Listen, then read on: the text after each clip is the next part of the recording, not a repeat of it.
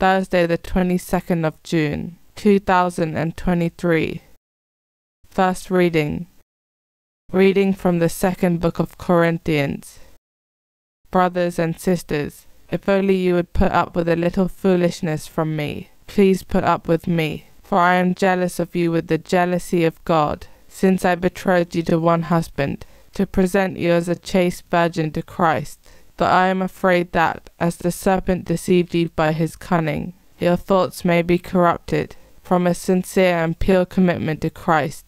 For if someone comes and preaches another Jesus than the one we preach, or if you receive a different spirit from the one you received, or a different gospel from the one you accepted, you put up with it well enough. For I think that I am not in any way inferior to these super apostles. Even if I am untrained in speaking, I am not so in knowledge. In every way we have made this plain to you in all things. Did I make a mistake when I humbled myself so that you might be exalted? Because I preached the gospel of God to you without charge. I plundered other churches by accepting from them, in order to minister to you. And when I was with you and in need, I did not burden anyone, for the brothers who came from Macedonia supplied my needs so I refrained and will refrain from burdening you in any way. By the truth of Christ in me, this boast of mine shall not be silenced in the regions of Achaia. And why? Because I do not love you. God knows I do. Responsorial Psalm Your works, O Lord, are justice and truth. I will give thanks to the Lord with all my heart, in the company and assembly of the just. Great are the works of the Lord exquisite in all their delights. Your works, O Lord, are justice and truth.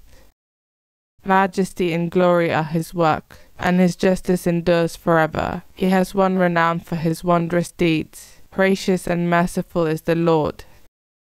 Your works, O Lord, are justice and truth. The works of his hands are faithful and just. Sure are all his precepts reliable forever and ever, wrought in truth and equity. Your works, O Lord, are justice and truth. Gospel acclamation. Alleluia, Alleluia. You have received a spirit of adoption as sons, through which we cry, Abba, Father. Alleluia, Alleluia. Gospel. Reading from the book of Matthew. Jesus said to his disciples, In praying, do not babble like the pagans, who think that they will be heard because of their many words. Do not be like them. Your Father knows what you need before you ask Him. This is how you are to pray. Our Father who art in heaven, hallowed be thy name. Thy kingdom come, thy will be done, on earth as it is in heaven. Give us this day our daily bread, and forgive us our trespasses as we forgive those who trespass against us. And lead us not into temptation, but deliver us from evil. If you forgive others their transgressions, your heavenly Father will forgive you. But if you do not forgive others, neither will your Father forgive your transgressions. Gospel of the Lord.